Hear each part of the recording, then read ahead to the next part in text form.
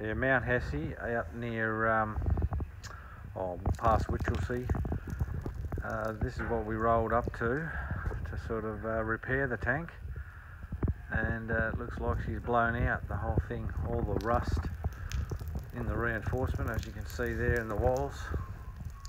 All the reinforcing bars being rusted through. So that's why they blow out. So the whole tank has collapsed. It did have a strap on it strap's pretty sort of only about a two to three mil. You need a four to five mil Duragal strap and probably two or three on a tank like this. But that's the slabs there.